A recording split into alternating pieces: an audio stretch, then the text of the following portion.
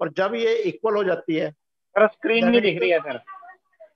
Screen नहीं दिख रही। सर स्क्रीन नहीं दिख रही है। सुन ले ना सुन ले। आवाज़ सुनाई दे रही है?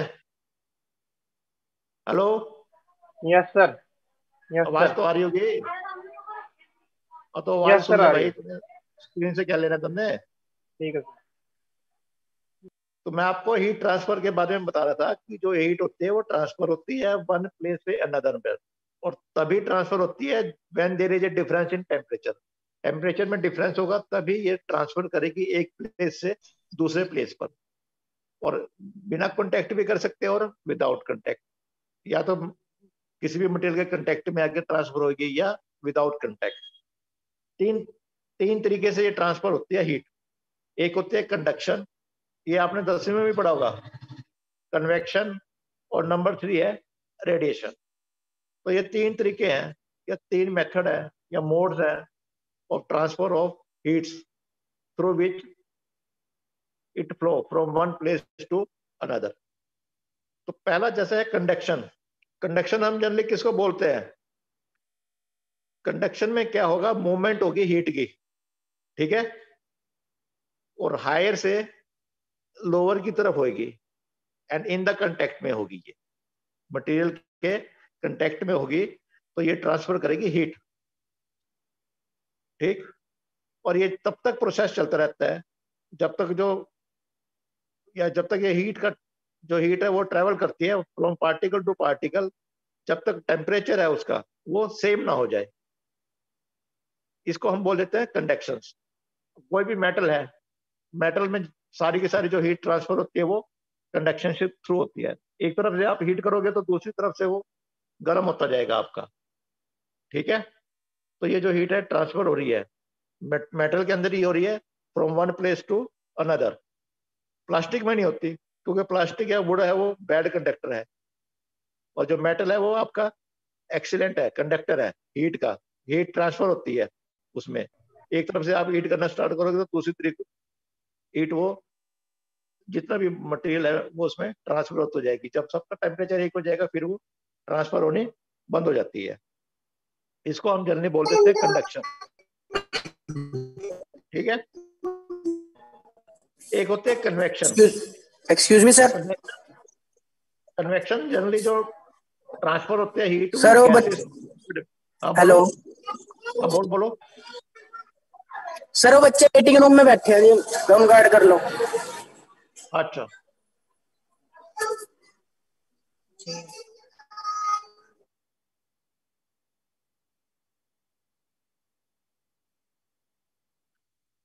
तो कन्वेक्शन के बारे में बता रहा था मैं।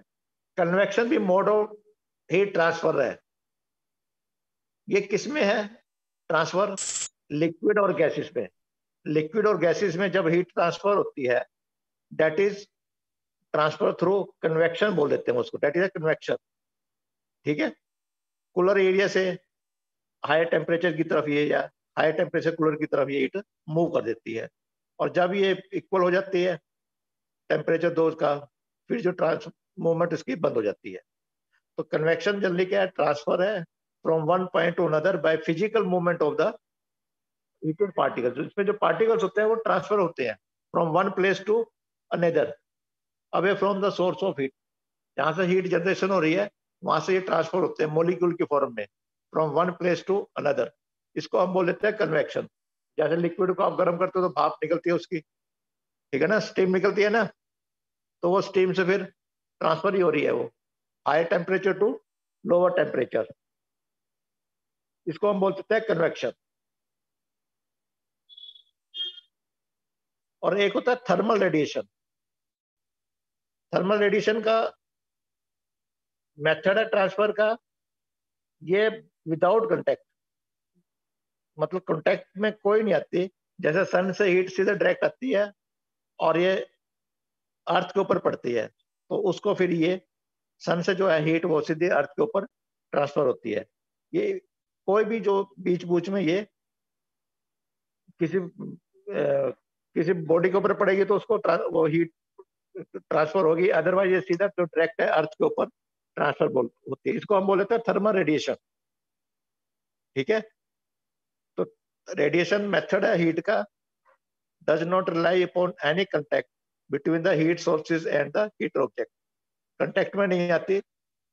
सीधा कि सीधा ये हीट गर्म करती है या हीट को ट्रांसफ़र करती है। जैसे सन है। सन कोई टचिंग नहीं कर रहा है। तो हीट जो ट्रांसफ़र हो रही है, सीधी हो रही है through empty space by thermal radiation तो यदि अगर इस तरीके से हीट ट्रांसफ़र होती है, उसको हम बोल लेते हैं थर्मल रेडिएशन तो मोड मैंने आपको बताया तीन है। पहला है कंडक्शन कंडक्शन होता है सॉलिड में मेटल के बीच में। ठीक है? एक उससे आप गर्म करोगे तो दो हीट ट्रांसफ़र होती है। From one place to another by contact contact में होती है। कन्वेक्शन में लिक्विड और गैसेस में। इसमें मोलिक्यूल ट्रांसफ़र होते हैं। मोलिक्यूल जहाँ भी हीट जनरेट हो रही है, वहाँ से मोलिक्यूल के फॉर्म में ट्रांसफ़र होते हैं।